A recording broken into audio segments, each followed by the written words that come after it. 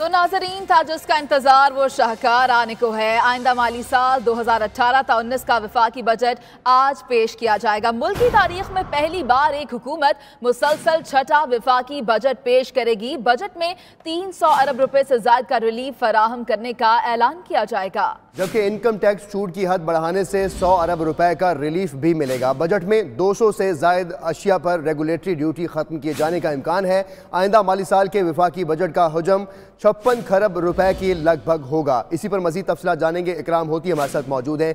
جی اکرام، بتائیے گا، تمام اپوزیشن جماعتوں کی مخالفت کے باوجود حکومت آج بجٹ پیش کرنے جا رہی ہے۔ آخر کیا وجہ ہے کہ حکومت نے اپوزیشن کے احتجاج پر کان تک نہیں دھرے؟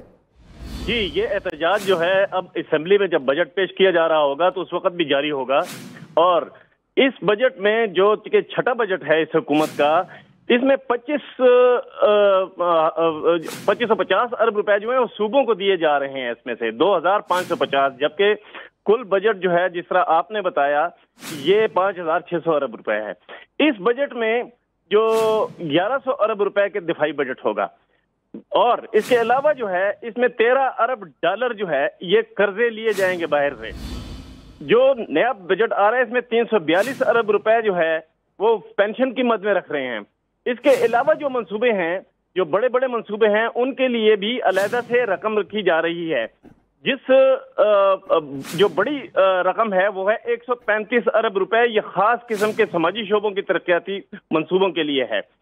جو اس بجٹ میں جو ایک اور بات ہے، وہ ہے کہ قرضوں کی ادائیگی میں اس میں سولہ سو سات ارب روپے رکھے گئے ہیں کہ قرضوں کی ادائیگی کرنی ہے۔ جب یہ تیسرا حصہ تقریباً بنتا ہے بجٹ کا، اس کا مطلب کیا ہوا کہ تیسرا حصہ بجٹ کا ہم پاکستان میں خرچ نہیں ہوگا، یہ نکل جائے گا، یہ واپس ہوگا۔ مینوفیکچرنگ جو ہے، اس کے لیے بھی اس بجٹ میں آٹھ اشاریہ ایک فیصد جو ہے بجٹ رکھا جا رہا ہے۔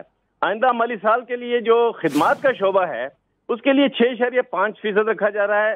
اور اس کے علاوہ اسلام آباد میں جو سب سے بڑی خبر گردش کر رہی ہے کہ برآمدات کا ہدف جو ہے وہ چھپن ارب پچاس کروڑ روپے رکھا جا رہا ہے۔ اس کا مطلب ہے کہ پاکستان کو فارن ایکسچینج بہت زیادہ چاہیے ہوگا۔ تجارتی خسارہ جو ہے انتیس ارب روپے کا ہو جائے گا۔ اس جو بجٹ کا ٹوٹل خسارہ ہے وہ بارہ ارب پچاس کروڑ ڈالر مقرر کرنے کی تجویز ہے۔ ٹھیک ہے، خسارہ کتنا ہوگا یہ بھی آپ نے بتا دیا اور کس شعبے کو کتنا بجٹ دیے جانے کا امکان ہے یہ بھی بتا دیا۔ اکرام، یہ بتائیے گا کہ آخر کیا وجہ ہے کہ حکومت نے اپوزیشن کے احتجاج پر کان تک نہیں دھرے اور یہ بجٹ پھر بھی پیش ہونے جا رہا ہے؟ اس کے اندر جو راز کی بات ہے، جو بہت کم لوگ کرتے ہیں، وہ سامنے آ جانے چاہیے۔ وہ یہ ہے کہ یہ بجٹ جو بھی حکومت پیش کرے گی تو ظاہر ہے اس میں ٹھیکے دیے جائیں گے ترقیاتی بجٹ میں۔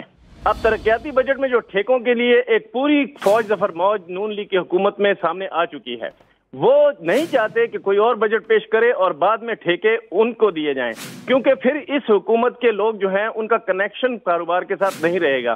یہ سب سے بڑی وجہ ہے۔